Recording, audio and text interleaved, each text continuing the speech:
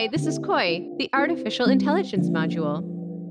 Come and join me to explore what Koi can do. Want to take a photo? You may activate the camera with a hand gesture, like this. Can Koi recognize faces? Yes, absolutely. The camera can recognize human faces with no prior training. Even more cool, Koi is not only able to do a lot more than you expect, but it's also very simple to use. Here's why Koi is perfect for your first encounter to machine learning. Koi has vision technology and can classify objects by means of its internal learning capability. You can classify any object in front of the camera after training.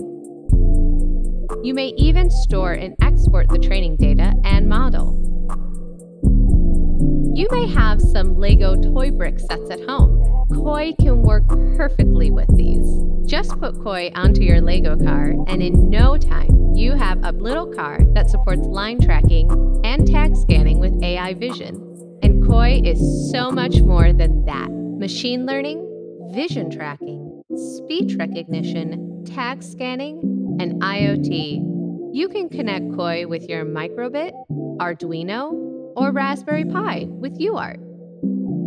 So, what are you waiting for? Give it a try now.